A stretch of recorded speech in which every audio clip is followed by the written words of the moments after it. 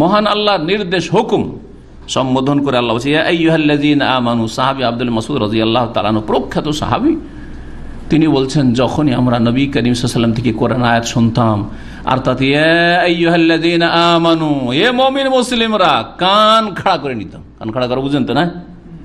হ্যাঁ সজাগ হয়ে যেতাম। হে মানব সকল, কান খাড়া করে নিতাম। সজাগ হয়ে যেতাম। যে হয় কোনো আল্লাহ আদেশ করছেন যা পালন করতে হবে, জানতে হবে, মানতে হবে। আর না হলে নিষেধ করছেন, বারণ করছেন, জানতে হবে আর বিরত থাকতে হবে। এটা হচ্ছে আপনার আল্লাহর সাথে সম্পর্ক। যদি মোদির কোনো কথা বলে, কান খাড়া করে বসে আছেন হ্যাঁ এক কাপ চা নিয়ে আসতে বলবে, তাই, শুধু রাজি করার জন্য। হ্যাঁ মোদিরও না, কিছু না। হ্যাঁ কোনো একটা সাইডে তার দ্বারা সে আপনার কোনো ক্ষতি করে দিতে পারে যদি তাকে রাজি না রাখেন তাহলে। কিছুই না, সাধারণ একজন অরকার হয়তো। কিন্তু সে আপনার চাইতে সিনিয়র যেহেতু ফোরম্যান অথবা সুপারভাইজার তার হাতেও কিছু সামান্য চাবিকাঠি আটার ক্ষমতা আছে। সুতরাং আপনার রুজি টাইট করে দিতে পারে। ওকে রাজি করার জন্য জি হুজুরির শেষ নাই। আর মহান আল্লাহ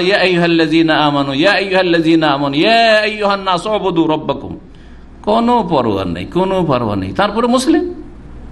ফালাতুন্না ইল্লা মুসলিমন। বলছেন মহান আল্লাহ এই আয়াতটি আলে ইমরানের যে একশো দুই নম্বর আয়াত, যে তিনটি আয়াত সন্ন্যতি খুদবায় পাঠ কর খুদবতুল হাজা। যে কোনো আলোচনায় নবী পাঠ করতেন, যে কোনো জুমা, ঈদের খুদ্ায় পাঠ করতেন, এবং যে কোনো সভায় পাঠ করতেন, তারপরে বিয়ে শাদির ক্ষেত্রে, বিশেষ এই সন্ন্যতি আমাদের বিয়ে শাদির ক্ষেত্রে শুধু বাকি আছে। বিয়ে শাদির ক্ষেত্রে পাঠ করতেন, যখন বিয়ে পড়াইতেন তিনটি আয়াতের একটি আয়াত ইয়াহ্লাজিন আমানু হে ইমানদার লোকেরা, মমিন, মুসলিমরা শোন, ইত্তাকুল্লাহ কাতেহি যথাযথ আল্লাহকে ভয় করো। আল্লাহকে যেমন ভয় করা বলে ওই রকম ভয় করো। যেই রকম ভয় করলে আমরা কি করি দুনিয়ার ক্ষেত্রে? যাকে ভয় করেন, তার ক্ষেত্রে কি করেন আপনি? তার ক্ষেত্রে বা যেই বিষয়কে ভয় করে, যেই বস্তুকে ভয় করে, সেই সম্পর্কে আপনি, আপনার ভূমিকাটা কীরকম সেই সময়? ভয়ের অবস্থায়। আল্লাহকে যথাযথ ভয় করো। ওয়ালা তামতুন্না ইল্লা আন্তম মুসলিমুন, আর তোমরা মুসলিম না হয়ে মরিও না। ওখানে রয়েছে ফালা তামতুন্না, এখানে রয়েছে ওয়ালা তামতুন্না। ওয়াই আর ফায়ের পার্থক্য, একই কথা। তার বিষয়টি কত গুরুত্বপূর্ণ যে ইসলামের অবস্থায় সর্বদা থাকার চেষ্টা করা। যাতে করে আমরা ইসলামটা টিকে থাকি। বিশেষভাবে মুসলিমদেরকে বলছি, আজকাল অধিকাংশ মুসলিমরা বেপরোয়া জীবনযাপন করে ইসলাম থেকে যে কতবার ধাক্কা খেয়ে বেরোচ্ছে, আর মাঝে মধ্যে হয়তো ঢুকে যাচ্ছে, কিন্তু আবার বেরিয়ে চলে যাচ্ছে। সকালে ঢুকছে, দুপুরে বেরিয়ে যায়, দুপুরে ঢুকছে বিকালে বেরিয়ে যাচ্ছে বিকালে ঢুকছে, রাত্রে বেরিয়ে যাচ্ছে, রাত্রে ঢুকছে, সকালে বেরিয়ে যাচ্ছে। ইমান ভঙ্গ করে চলে যাচ্ছে। বিশেষ করে সবচেয়ে বড় রোগ হচ্ছে নামাজ কোনো অক্ত ছেড়ে দেওয়ার মাধ্যমে ইসলাম থেকে ধাক্কা খেয়ে বেরিয়ে চলে যাওয়া। শয়তান ধাক্কা দিয়ে টেনে নিয়ে চলে যাচ্ছে, কিন্তু শয়তানের এই অনিষ্টকেই বুঝে না অবুজ মুসলিমরা। ওয়ালা তামুতুন্না ইল্লা ওয়ান্তু মুসলিম তোমরা মুসলিম হওয়া ছাড়া মরিও না। কেন মুসলিম হে আল্লাহ মরতে বলেছেন? আল্লাহ লাভ না আমাদের লাভ? শোনেন ভালো করে। মতের পরে কি হবে? কিছু সময় আমরা থাকব। মাটিতে, কবরে, যে যেখানে দাফন হইল বা শেষ হইল থাকল। যে পানিতে ভাসলো, পানিতে যে যাকে জ্বালিয়ে দেওয়া হইল, জ্বালিয়ে দেওয়া, যে যেখানে যার সমাপ্তি ঘটেছে। তারপরে পৃথিবী ধ্বংস হবে, বিচার দিবস হবে অমল কেয়ামা হবে, আখেরাতে হাসর মাঠে সবাইকে জমা হইতে হবে, একত্রিত হইতে হবে। এতে কোনো সন্দেহ আছে? লারাই বাফি কোনো সন্দেহ নেই। হাজির হইতে হবে। আর এ কথা যদি বিশ্বাস না থাকে, তাহলে অমুসলিমে আর এই রকম মুসলিমে কোনো পার্থক্য নেই। যখন আমাদের আলহামদুলিল্লাহ বিশ্বাস আছে, সেই দিন উঠবেন কি অবস্থায়? কথা শোনে। যেই দিন মরেছেন, ওই দিনের যে অবস্থাটা ছিল, ওই অবস্থায় উঠবেন আপনি। সহে মুসলিমের হাদিস হাদিস নম্বর পাঁচ হাজার একশো ছাব্বিশ। জাবের রাজি আল্লাহ তালানো থেকে বন্য তিনি বলছেন সামেত নবিয়া সাল্লাহ একুল আমি নবী মোহাম্মদ সাল্লাহ ইসলামকে বলতে শুনেছি ইউব আসো কুল্লু আবদিন আলা মা মাতা আলাই হে প্রত্যেক বান্দার আর পুনরুত্থান হবে, প্রত্যেক বান্দার প্রত্যেক মানুষের পুনরুত্থান হবে মানে হাসরের মাঠে বিচার দিবসে উঠবে কিসের ওপর? আলাম মা মাতা আলী যেই অবস্থায় মারা গেছিল সেই অবস্থায়। প্রত্যেকেই যে অবস্থায় মৃত্যুবরণ করেছিল সেই অবস্থায় কোথায় উঠবে? হাসরের মাঠে উঠবে। ভালো করে শুনে রাখেন, হাসরের মাঠে উঠবেন তাহলে আপনি যদি মুসলিম হয়ে মৃত্যুবরণ করেন, তাহলে হাসর মাঠে মুসলিম হয়ে উঠবেন। আপনি যদি নামাজি হয়ে মৃত্যুবরণ করেন, পাঁচ অক্ত নামাজি ফজর সহ, তাহলে নামাজি বলে চিহ্নিত হয়ে উঠবেন কেমতের মাঠে। বেনামাজি হয়ে যদি মারা যান, তাহলে বেনামাজি হয়ে উঠবেন, সেদিন বেনামাজির কাতারে দাঁড় করে দেওয়া হবে।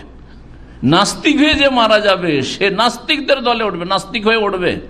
ইহুদি হয়ে যে মারা যাবে, খ্রিস্টান হয়ে যে মারা যাবে, হিন্দু হয়ে মারা যাবে, সে অবস্থায় উঠবে। আল্লাহ মা তালি সারা জীবন কি করেছেন? অতীতে। সেটা দেখা হবে না। ওই রকমই যেমন ইবলিশ সারা জীবনে কি করেছিল? আল্লাহর বহু এবাদবন্দি করেছিল। বহু এবাদবন্দি করেছিল। কিন্তু শেষখানে কি করল? আনা খাইরুমিন অহংকার বশত কুফরি করল।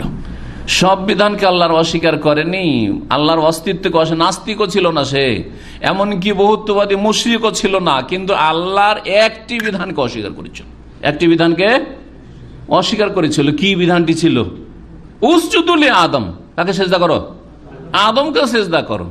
আদমকে সেজদা করতে অস্বীকার করেছিল। তা আমি করব না এমনি? না, একটা যুক্তি দেখিয়েছিল। যুক্তির ভিত্তিতে যুক্তিটি ছিল অযুক্তি। আনা খাইরুমিন আমি ওর চাইতে শ্রেষ্ঠ। খালাক্তা নিমিন নার ও খালাক তহমিন তিন। ওকে মাটি দিয়ে তৈরি করেছে আদমকে। আর আমাকে কি দিয়ে তৈরি করেছ? আগুন দিয়ে মিন্নার আগুন দিয়ে তৈরি করেছ। আগুন মাটির চাইতে শক্তিশালী। যুক্তি পেশ করল কেয়াস। সুতরাং আগুন কি করে মাটির সামনে ঝুঁকতে পারে? মাটির সামনে আগুন ঝুঁকবে না। আল্লাহর সব মানতে রাজি। বরং যখন বিতাড়িত হলো, আল, ছাড় চাইলো যে আমাকে এই ক্ষমতা দাও, এই ক্ষমতা দাও, আমি একবারে কেমত পর্যন্ত যাতে করে বেঁচে থাকি, না মরি। আর আদমের কারণে যখন এইরকম আদমের সব সন্তানকে যাতে জাহান নামে আমার সাথে নিয়ে যেতে পারি, সবগুলি দোয়া কার কাছে করেছিল? হ্যাঁ? দুর্গার কাছে করেছিল?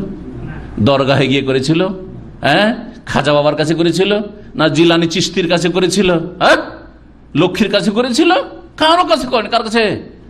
রব্বে বেমা আগুয়াইতানি, হে রব, যখন আমাকে গুমরা করেই দিলে, তাইলে আমাকে এই ক্ষমতা দাও, এই ক্ষমতা দাও, এই ছাড় দাও, এই ক্ষমতা দাও, তাদের যাতে করে রগে রগে শিরা উপসিরে চলতে পারি, রক্তের সাথে চলতে পারি।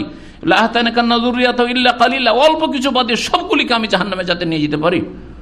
লাউয়ান্নাহু আজমাইন, সবগুলিকে যাতে করে গোমরা করতে পারি। ইল্লা এবাদাকা মিনহুমুল মুখলাসিন, যেগুলো খাঁটি বান্দা, ওইটিকে পারব না শুধু। এই খাঁটিগুলিকে শুধু পারব না। এই খাঁটিরাই হচ্ছে মুসলিম আসলে।